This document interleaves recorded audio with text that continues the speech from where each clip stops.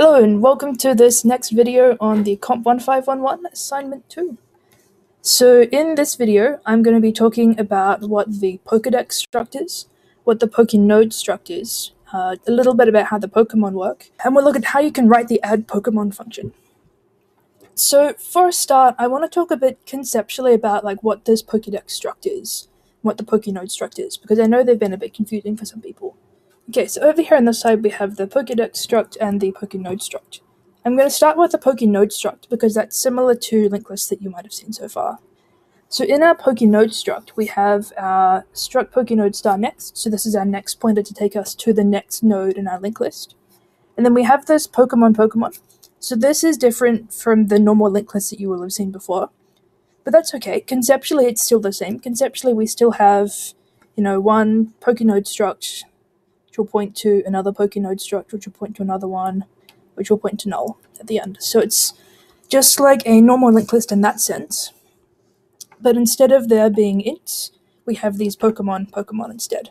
So this capital P Pokemon, I'll talk more about those in another video in detail about what that actually means and how you can interact with them.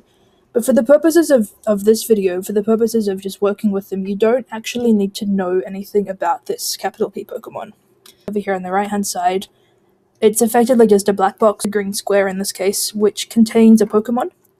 You can't directly interact with that. Like you can't poke into that box with a Pikachu and work out what its what its name, what its height is, and so on. To you, it's just there is a Pokemon. But you don't need to be able to interact with it directly to add it into your link list, right? All we need to do is to keep track of the fact that we do have these Pokemon blobs and associate those with each of our nodes in our link list. So that's this Pokenode struct. Similar to a normal linked list, but like I said, but it's got a Pokemon instead of an int. In terms of what that would look like, I've drawn an empty one over here. We can see the next pointer points to null, uh, the Pokemon points to null. And when I wanted to add a Pokemon to my Pokédex, I would make one of these structs. So if I wanted to make a new Pokenode struct, right, it'd have these fields, the next field, and the Pokemon field. Just draw capital P for now. So the next field, I mean, for now, I'd point to null. I've just got to note it's not in a, in a list at all. But the Pokemon field, the, rather than being an int like the number three, for example, this is just a pointer to one of these Pokemon down here. So the Pokenode itself doesn't store the information about the Pokemon directly. It just has a pointer to one of these Pokemon. Okay, so this Pokenode that I've drawn down here has a pointer to this Pokemon down here, which has a Pikachu in it. Uh, I don't have to know that it's a Pikachu. I don't have to know the name or the types or anything like that. All I have in my Pokenode struct is this pointer to a Pokemon. That's this Pokemon Pokemon over here in the struct. So that's what a Pokenode struct is. It's like a normal linked list struct, except instead of an int or some data, it's got a Pokemon. But let's have a talk about this Pokedex struct over here, because this is something that we haven't really talked about much before. So this Pokedex struct, it's not a, a linked list node struct. It doesn't have sort of a next pointer and some data in it. It's just this standalone struct that you'll have one of these, which represents your Pokedex, and that contains the key to all the information in your Pokedex. So for now, with the starter code we've given you, it's just got this Pokenode star head, so pointed to the start of the linked list. But you might want to add more fields to it in the future. So for example, the number of things on the list, the current thing that you're looking on the list, and so on. So let's look at how these join together. Um, I've drawn sort of an example Pokédex here with the head pointer just pointing to null. So if we were inserting Pokemon into our Pokédex, it would start out being null. Like uh, we don't have anything in our Pokédex to start out with, it's just empty. And so then when we want to add some Pokemon, we need to make some of these Pokénode structs, like I've got over here. So let's say that I wanted to add this Pokemon here, Pikachu, into the Pokédex. The first thing I would need to do, right, is I'd need to make a Pokenode struct to store it in. So I'll make that over here. It's got two fields, the next field and the Pokemon field. I'll just write N and P. Uh, the next field is going to start out pointing to null because there's nothing else after it in the list. It's just a node by itself. The Pokemon field just has a pointer to a Pokemon. So let's have this one have a pointer to this Pikachu Pokemon over here. So remember, it doesn't have the, the name or anything like that stored directly in it. It's just a pointer to one of these Pokemon. So then, of course, to add it into my Pokédex, I need to add it into the link list. Uh, at the moment, the Pokédex is empty. The head just points to null. So instead of pointing to null, I'd want to make the head point to my uh, new Pokénode that I've just created here. Hopefully that makes sense so far.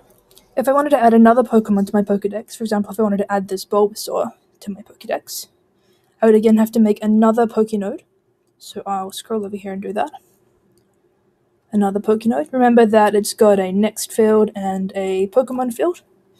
The Pokemon field is just going to be a pointer to one of these Pokemon over here. I, again, I don't have the details stored directly, just to point it to that Pokemon.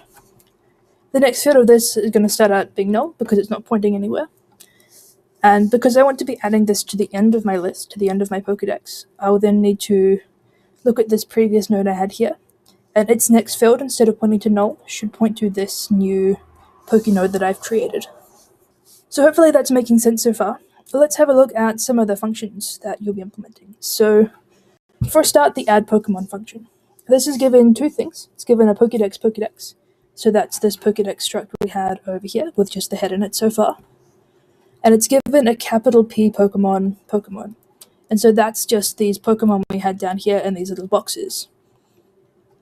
So effectively, add Pokemon is given a Pokédex and a Pokemon, and it needs to add that into the Pokédex. Cool, so let's look at this add Pokemon function.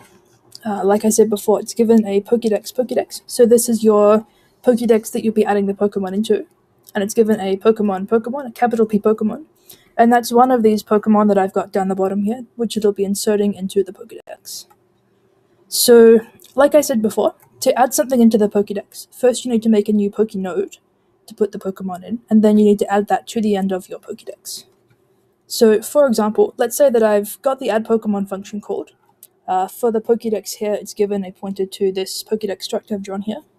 And for the Pokemon field, it's been given a pointer to this Charmander that I've drawn down here. So what this function will have to do in this case is make a new Pokenode, uh, put the Charmander into that Pokenode, and then add that to the end of the Pokedex. So the first thing we want to do is make a new Pokenode. So we'll do that using malloc or something like that to get the memory. Uh, afterwards, that will give us this blob of memory with a next field and a Pokemon field. I just done NNP for short.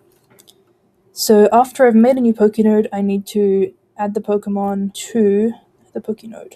So after I've made the Pokenode, I then need to add the Pokemon to the Pokenode. Now this is fairly straightforward. I've been given a pointer to this Pokemon here, right? This Pokemon, Pokemon.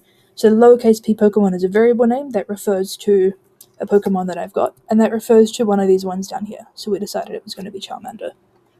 So all I would have to do for that would be to set this Pokemon field to be pointing to the variable that I've been passed in. So in terms of what that would look like in terms of code, if I've got a new Pokenode, let's say that I've got a variable here node, I've gotten some memory from malloc, to add the Pokemon to the Pokenode, uh, to make this P field here, the Pokemon field here, point to this Pokemon, all I have to say is node arrow Pokemon, which refers to this field here, um, or this field here in this example one I've got down here node array Pokemon equals Pokemon. And so that Pokemon here refers to this Charmander we've got down here, right? All we're doing in our node is we're adding a pointer to the Pokemon that we've been passed in. And then for its next field, it's not going to point anywhere right for now. There's nothing else in the list, so that's just going to point to null. So in terms of the code, that would look something like node arrow next equals null. Cool. So the steps we need to do for that, first of all, I'll make a new Pokenode add the Pokemon to that Pokenode, and then the third step is going to be to add it to the list, add it to the Pokédex. So to go about adding it to the Pokédex, so we'll be wanting to add it to the end of the Pokédex, the end of the list of Pokénodes that we've got, because of course we always want to be adding the new Pokemon to the end of the list. So to make this a bit simpler, I reckon that we should write a helper function that will let us add something to the end of our Pokédex. So in this case, let's actually make two helper functions. One of them that will make a new Pokénode and then add a Pokemon to that node, and then a second one that will let us add that Pokenode that we've made to the Pokédex. Cool. So in terms of the first helper function to make a new Pokenode, here's a function prototype that I prepared earlier. This function will be given a Pokemon, this Pokemon Pokemon here. So that's this blob here. It's a pointer to this blob of memory that happens to have a Charmander in it. And it's going to return a struct Pokenode star. So it's going to return a pointer to a Pokenode struct. So what this function would do, we're not going to write the code for it, but the steps this would want to follow would be, first of all, to get some memory. So malloc some memory. And then, second of all, add the Pokemon to that Pokenode. So again, like I had earlier, assuming that the memory we got back was stored in some variable called node, to add the Pokemon to the Pokenode, we don't have to copy its name or anything like that. We just say node arrow Pokemon. So that second Pokemon there is this Charmander that we've been passed into our function. Cool, and so then the last step would just be to return the new node that you've made. So you'd just say return node. So I highly recommend making a helper function like this to make a new Pokenode. It'll make it a lot simpler. You just call this function, giving it the Pokemon that you are passed into the add Pokemon function, and it'll return you back a node with this Pokemon stuck into it. So that'll help you cover these first two steps here, where you make a new Pokenode and put the Pokemon into it. Then for the next step, adding uh, your Pokenode to the end of the Pokedex.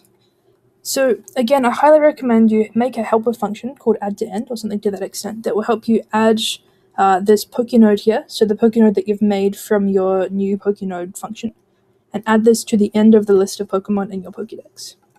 So the first time you call this, when you insert the first Pokemon into your Pokedex, your Pokedex struct will be empty. Uh, this parameter here, Pokedex Pokedex, you're given a pointer to your Pokedex struct that you will have made from the new Pokedex function, for example.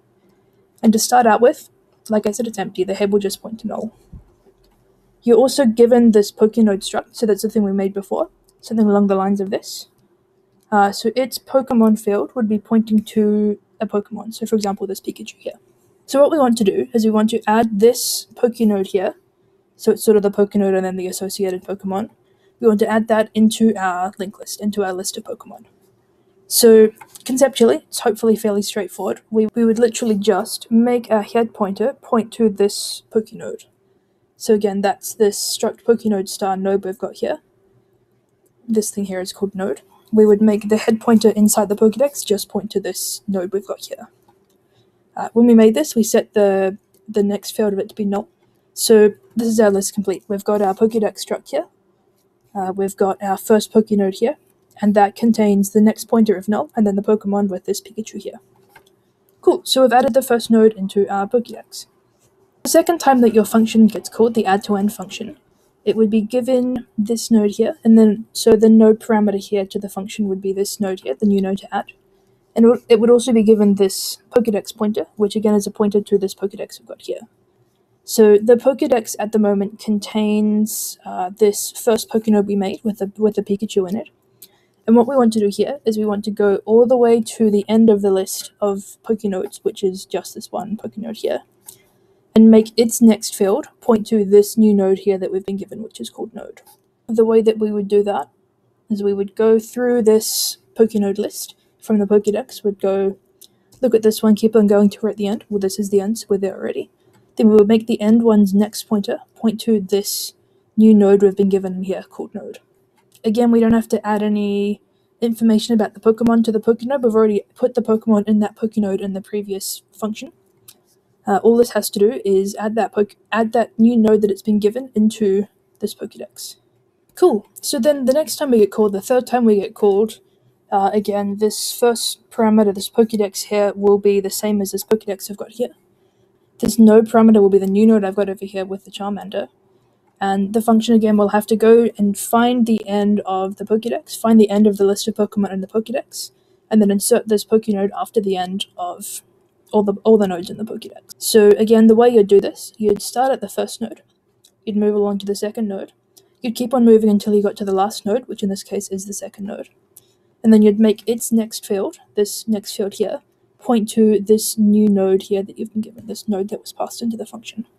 And again, not adding the Pokemon to this. Already got this Pokenode that you've made with your previous function. You just want to go along the list of Pokemon in your Pokedex until you get to the last node, and then make that last one's next field point to this new node here that you've been given.